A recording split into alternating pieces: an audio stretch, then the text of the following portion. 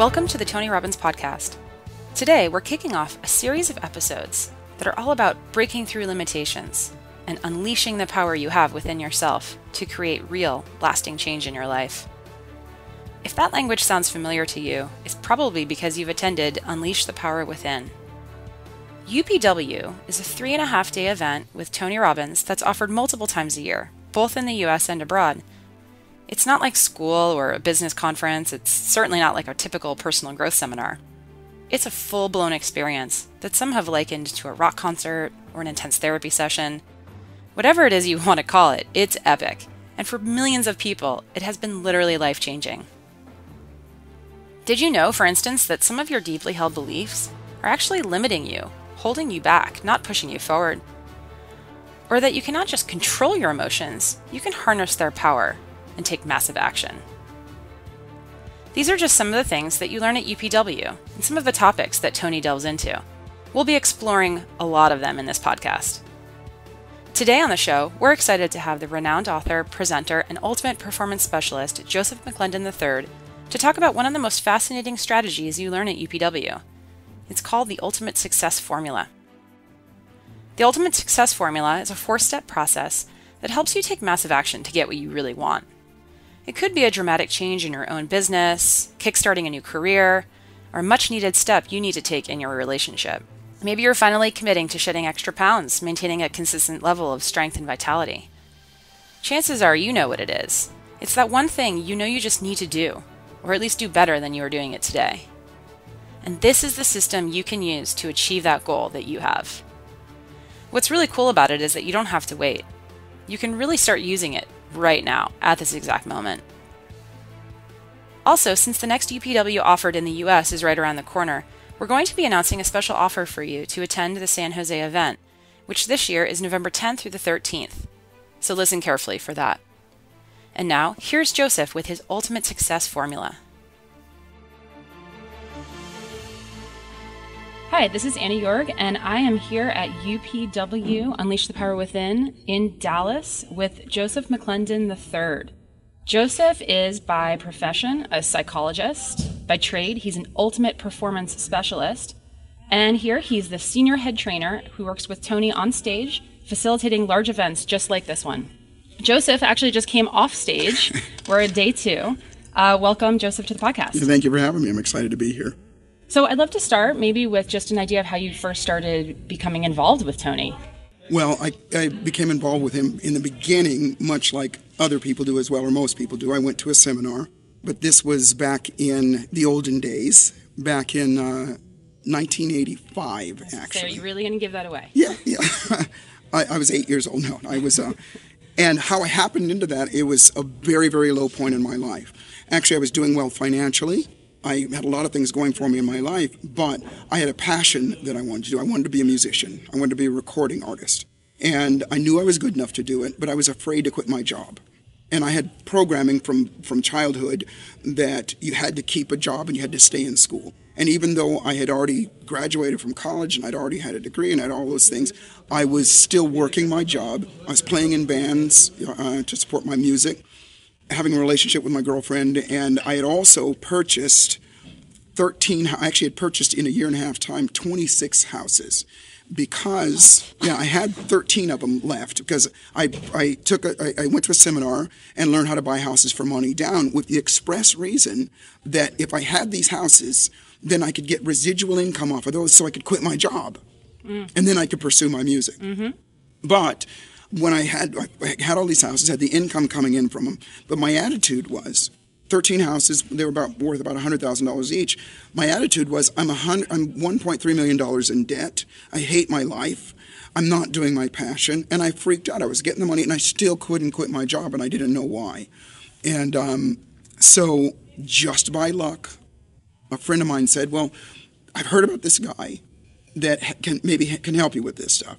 And he told me his name, but I didn't pay attention to it. And he said, you should go to the seminar. And I go, I already went to one seminar and look at what happened to me, you know, because I literally, that was the only seminar I'd gone to. And uh, so I went to Los Angeles and I went to, in those days, this UPW was called the Mind Revolution. Hmm. Tony was maybe 28, 29 years old, I oh, think. Wow. And I went there and I was in the back of the room, and I was depressed, and I was just out of it. And everybody else around was jumping around and having a good time and partying, and there was only maybe 500 people, if that many. And uh, and I just wasn't into it. And I thought, you know, I'm out of here. I'm going to leave because I'm just not into it. And uh, one of the one of the uh, staff, if you will, came up, big guy, started talking to me, and he says, "Listen, you know, you know, how you doing? You know, you look like you're troubled." And I said, "Well, you know, quite honestly, this, this, this," and I started regurgitating my story to him. But he was really kind, and he was he was he was helpful. And I was thinking to myself, "Wow, this Tony guy really trains his staff well." because this guy was giving me some suggestions and he was telling me, well, you ought to hang around because, you know, Tony will really help you with stuff. And Tony is an amazing, amazing guy and, and you know, it'll help you with stuff. And so he, he helped me and, and convinced me to stay, and I did. And then uh, at one point he goes, and then one of the greatest things is, is when you do the fire walk, and I go, the what? Because I didn't know anything about it. He goes, yeah, when you do the fire walk. And I go, what do you mean the fire walk? And he goes, yeah. And his eyes get really big, and he goes, at the end of this, we're going to lay out, uh, you know, 15 feet of hot coals and we're going to walk on them. I was raised in church, and and I automatically thought, well, Satan's got to be in there somewhere. Yeah. I'm not doing this. and then it flipped again, and then it's like I'm out of here. As soon as this guy's gone, I'm out of here.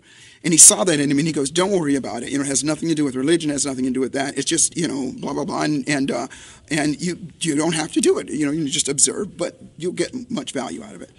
And I thought, okay, okay, well, and then I decided to stay again. Then he says, Well, I got to go because I got some work to do. And he turns around to walk away. And he stops about five feet away and he turns around and he goes, You seem like a really nice guy. Can I have your phone number? And at the time, now this is 1985, I thought to myself, you know, now what? Yeah. And I actually thought this was somebody hitting on me. Swear to God. Fair enough. And yeah. I thought, you know, and I thought, and he, and he kind of saw that I wasn't really comfortable with that. And he goes, you know, we'll talk later. And he, and he leaves. He said, goes away, and uh, then the seminar starts, you know, all the dancing and all the stuff going on. And I'm standing there still sort of half one foot in and one foot out. And Tony's wife gets on the stage and she she talks about how she was sitting where we were at the time and you know frustrated and all that stuff. And then uh, Tony came out and then she walked on the fire and it changed her life so much that she married the guy. Ladies and gentlemen, here's my guy. Here's my my husband, Tony Robbins. And Tony came out and it was the guy that was talking to me. Oh. It was Tony. It wasn't staff at all. It was Tony. And wow. and uh, then he had me at that, so and of course I, I learned. I'm sorry. Straight up, he asked for your number straight up. Yeah, exactly. yeah, he was yeah, just trying to be a friend. It was me yeah. freaking out, right? Yeah. And uh, so I uh, I stayed, and the rest is history. It literally that, one, and I only did the one day, by the way. I didn't do this the uh, the next UPW for several months, but just from what I learned from that one day, changed my life. I went back and literally within a couple weeks, I quit my job. I just, you know, went through a bunch of changes in my life. I did wind up selling 90% of all those homes, and I moved to Los Angeles. I did get a recording deal with CBS Records uh, a couple years later, and uh, and grew from there. And then, uh, I guess it was in '90. Uh, CBS, the company that I was with, sold to Sony, and I got kind of locked in that in a position that I didn't want to and my mom became very very ill and I had to take care of her as well. And it was at that stage that I made the decision to switch careers. And um, I had in between that time, Tony and I were friends, and I would go to the, workshops, and he asked me to to uh, step in because of my background in psychology and uh, and uh, and work with some of the trainers and so on and so forth. So I became uh, the head trainer, training the trainers, and working with the trainers. And then uh, he and I wrote our first book together it became a bestseller in uh, uh, 89. I'm sorry, 86. Mm-hmm. Um, sorry, 96. Forgive me, 96. And uh, and then since then, grew and grew, and I became the uh, senior head trainer. And now I have the unbelievable honor, the privilege of working with Tony on stage and sharing his message and helping people change lives. Great. So I want to talk a little bit about what you spoke about today, day 2 mm-hmm. uh, the ultimate su- success formula. Can you explain a little bit about Absolutely, sure. what that is, where it comes from? Actually, that was day number one. We, we extended into today. Uh, day number one was, I'm sorry, that was day number two. Tony does day number one. Uh, and day number, uh, that, that is really what shifted my life uh, when I told you back there was learning this formula. And the ultimate success formula, as we jokingly say, but it's the truth. It's how to get whatever you want in life. And it is a strategy to organize your, it's a process of organizing all of the steps that you, you can, should, would take to get what you want. And ironically, they're the things that we do, we've always done, but we do them unconsciously. I'll, I'll, tell you what they are in a second, but throughout our lives, anything that we've ever desired, that we wanted, that we finally got, if you look back, all these steps were in place in some way, in, in with regard to an emotion, in regard to the actions that we took. And the steps are, they're, they're really quite simple, not necessarily easily easy, but they're, they're definitely simple. Step number one is always to know your outcome, meaning know what you want and be as mm, have as much detail about that thing as possible. But that sounds so simple, but it's not. It, well, y- yes and no. It, it's it's simple, not necessarily easy, because it requires you to dig deep inside yourself. Yeah. It, it requires you to do some research. It requires you to look at the thing that you want, and sometimes things come up that you don't like. Sometimes things come up that make you uncomfortable. Yeah but obviously through the process you have to learn how to uh, to deal with those things. But we, I always say, you know, I grew up in a town in a place called Lancaster, California, and uh, there it's desert, it's flat. It's where they used to land the space shuttle, you know, out in Edwards Air Force Base, and it's flat, and you could drive for miles and miles once you got out of town with no stop signs, and two or three, four or five times a year, people would lose control of their car and run into telephone poles. And it would floor me. I'd go, a telephone pole is only this wide. Yeah. And they're 20 yards in between each other. Why do people hit the poles? And if they lived, they always said the same thing. I didn't want to hit the pole. The last thing I remember was the pole. And so it's because of what they're looking at. Our bodies respond to whatever they're looking at. They drive into the pole, even though they don't want to do it, what they're focused on that becomes their outcome and their body drives into it. So I use that as an example or as a metaphor, if you will. To, it's the same for the thing that you want. If you get clear on your outcome, what it is that you want, and you focus on that, and then we have processes that you learn at the UPW of how to refocus yourself back on that thing and get clear on exactly what that is, sure. then your body much like driving into the pole, mm-hmm. will do whatever it takes to make that happen. And then it becomes automatic with you and and once that happens then you don't have to you know force yourself to do it. That is when it becomes easy. A lot of people too think it's an intellectual process but you know where focus goes energy flows. It's really a full body experience absolutely. Right? it, it really is. And it's, it's such a great point because you know, people say mind, body, and spirit. Yeah, it is.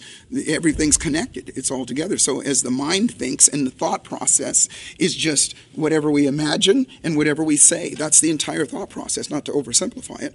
So if you're looking at something and saying these words, then and that repetition with the energy that goes into it, that becomes your reality. And you go after it. You know, you don't you don't have to think about um, how you drive a car when you get in the car, but you did when you first learned. You had to focus on some things, and you did it enough times, so pretty soon it came became natural. Sure. Yeah, but that's and that's a painful process in itself is getting out of autopilot, right? We live exactly. in our heads all day. We're so used to doing things so easily that getting out of your comfort zone to that extent yes. is very very uncomfortable. Very well put, and that's one of the great things that Tony teaches, and he's such a master at it. Is how to get out of that comfort zone, how to break that pattern, and not just intellectually, but do it in a way that becomes I call it your default. He's just a master at, at teaching people to do that as well. So, anything else about the success formula? Oh, sure. Uh, step number two sure. is is um, to know your reasons why. Why human beings do amazing things when they have a strong enough reason why. Um, Jim Rohn used to say that hows come second, whys come first.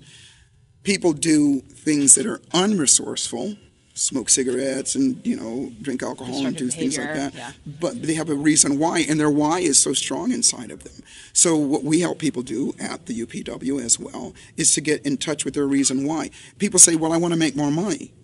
And but it, they don't want to just make more money. The reason that they want to make more money is so that they can you know, have a better lifestyle, freedom or they can or, freedom and build a financial wall around their family, you know, send their kids to special school or whatever. But those are the things that once they realize that, that's the, what you were talking about before. The emotion comes out. And once the emotion comes out and it's attached to that thing that you want, just like, again, I keep going back to driving into the pole, emotion is emotion, good or bad. And when you attach emotion to the thing that you're looking at, you get locked into it. They're scared when they're looking at the pole, but that's emotion and it locks them in. So if you if you get somebody to say, here's what, what I want, and I'm focused on that, and then you cause them to pull up the emotion of why they want it, their children or security or whatever it is, then it locks them in as well. Yeah. That's step number two. And again, in all this stuff, it's not just conversation we have with people. We pride ourselves on we're going to show you something, we're going to tell you something, and then you're going to do it. So we're going to get a result at the at the workshop, and then give you the tools so you can have it outside of here. And of course, the, the third step is the one that seems obvious, but it's not uh, the thing that people uh, it tend to know right away, and that is something called massive action. You've got to take not a little bit of action, but you got to take massive, massive action. And that means don't just go to the gym for a week, you know, and work out mildly. You got to go and work out like crazy while you're doing these things. But what happens is, is those things that are difficult in the very beginning, very, very quickly become natural, and you crave it.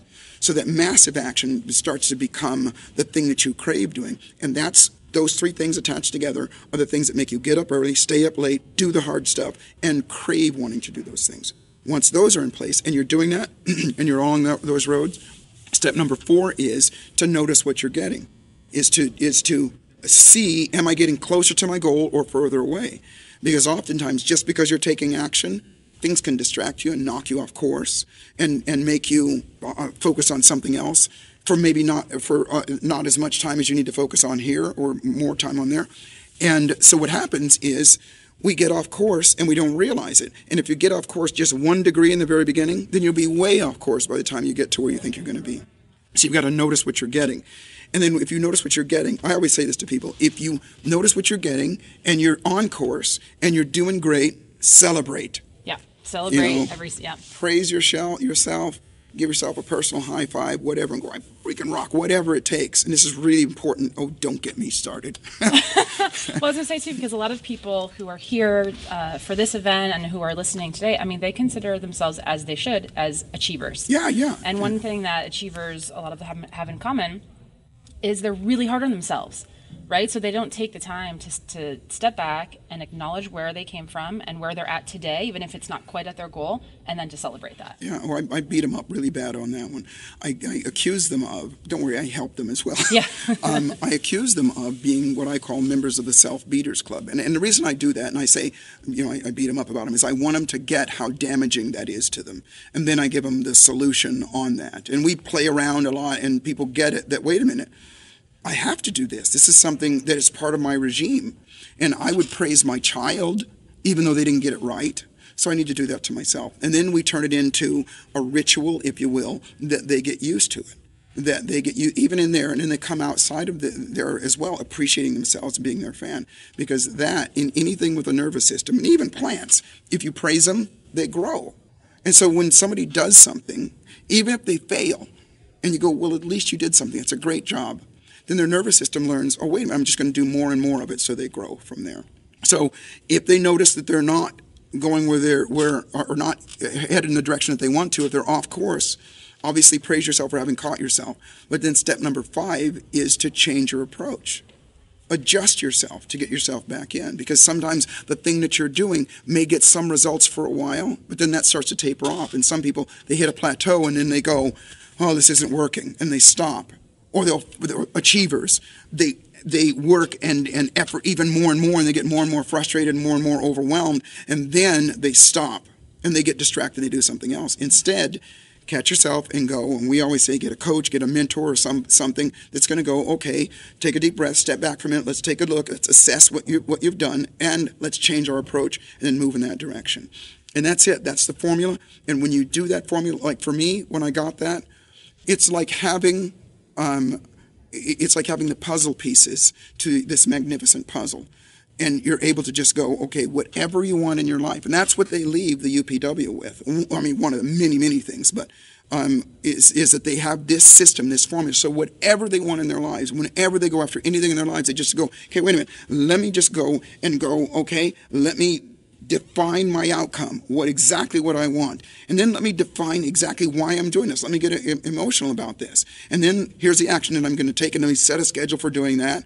And then as I go up, here's my schedule for checking in and seeing how I'm, I'm doing. And here's how I'm going to adjust. You do that, life's good. so, Joseph, one of the things that I've noticed here at UPW is that there seem to be people from all walks of life, right? Yeah. It's extremely diverse. Um, there's something about the energy in the room too that's unbelievable. It's like nothing I've ever seen. Everybody is here to support each other. Um, but UPW is a very individual journey. Yes. Right. Mm-hmm. And what I was sort of wondering was what types of people do you think are prime for this kind of event? Mm-hmm. Great question. You're absolutely right. There are all walks of, of people you know, all religions, all races, all ages. I mean, there's kids there, there's children there, and there are also, you know, 80, 90 year olds uh, here as well, and everything in between.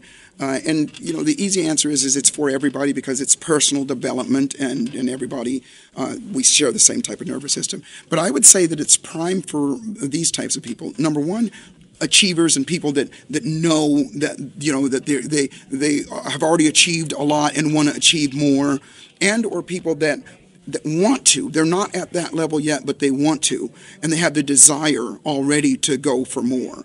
Obviously, it's for everybody, but those types of people tend to be the ones that. Um, that I, I, don't want to say benefit the most, but those are the ones that tend to uh, to this being the, the, the biggest shift in their life at that career. Now, I wouldn't say, I wouldn't restrict it to only those people. I would say anybody, if you have a desire to make something happen in your life, then this is for you. This is something that um, we create a community of people and that's really important as, as well because we're not an island and any, everything that we do is going to involve other people. So we learn how to interact with other people and so on and so forth. But i would say um, you know I, I don't necessarily like to use the word achievers the people that were, are going forward and you know that you want to make a better version of yourself. This is the place to do it. So we have a upw coming up. Yes. it's in san mm-hmm. jose. Mm-hmm. um, i heard there's a special offer